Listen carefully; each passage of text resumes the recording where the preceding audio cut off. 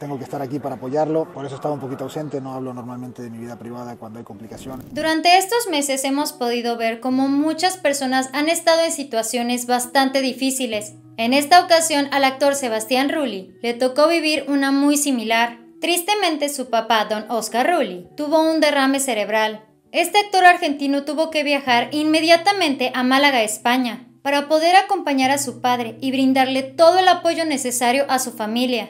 A través de su cuenta oficial de Instagram, este actor argentino de 45 años de edad compartió un video en el cual explicaba el por qué se encontraba en el aeropuerto de Madrid. Como él mismo lo explicó en su video, hacía mucho frío, y agregó que este no era un viaje de placer. Mi padre sufrió un derrame cerebral que lo dejó con la mitad del cuerpo paralizado. El protagonista de exitosas producciones como El Dragón quiso compartir palabras súper emotivas para su papá, además de agregar lo importante que es para él poder apoyarlo en momentos tan delicados hay que recordar que desde hace ya muchísimo tiempo los papás de Sebastián Rulli han estado viviendo en España, mientras que el actor vive aquí en México. Estoy por esa razón, para brindarle todo mi amor, todo mi apoyo, seguir admirándolo como siempre, porque es un guerrero que... Sebastián Rulli también quiso agregar que además del apoyo quería seguir admirándolo como siempre, debido a que su padre era el ejemplo de lo que es la perseverancia. El actor añadió que él es igual a su progenitor, y que sí o sí tenía que estar ahí para él, fueron días muy complicados,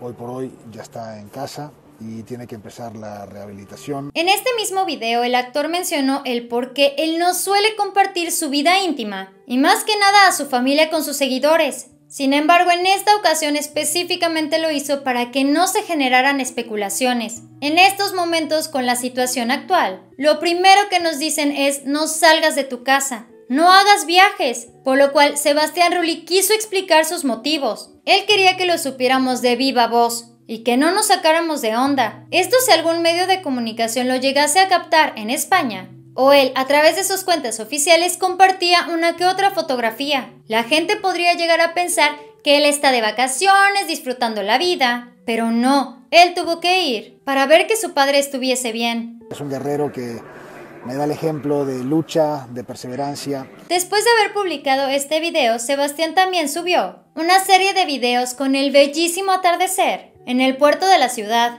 En este material, la actual pareja de Angelique Boyer aseguró que se siente sumamente bendecido y bastante en paz ahora que ya se encuentra con su familia. No es lo mismo tener comunicación con un pariente estando a horas de distancia y que un océano te separe de ellos. Además de que obviamente tenemos horarios diferentes. No es lo mismo hablar con tu papá, con tu mamá, a través de un teléfono, que tenerlos frente a frente. De igual manera, el actor quiso compartir cuáles fueron las medidas de seguridad que él tomó durante todo el vuelo. Para poder abordar, él traía su cubrebocas y una careta, las cuales no se quitó para nada.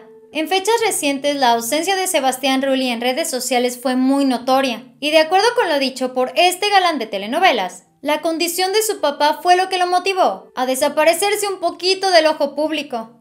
049054. Afortunadamente Sebastián Rulli llegó con bien para estar con su familia. Imagínate qué gran tranquilidad también debe de sentir su papá, de tener a su hijo ahí, a su lado, este viaje no solo será gratificante para el actor, sino también para toda su familia. Por lo cual, aquí, en el Muro de la Fama, esperamos que el papá de Sebastián Rulli se mejore y que este actor disfrute al máximo de estar con sus seres queridos. No te vayas de este video sin antes suscribirte a nuestro canal de YouTube dando clic aquí abajo, al igual que seguirnos en nuestra página en Facebook.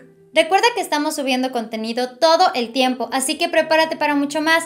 Por favor, cuídate mucho. Si no es necesario, no salgas de tu casa. Utiliza bien tu cubrebocas y lávate las manos continuamente. Espero que tengas un excelente día. Nos vemos muy pronto. Bye.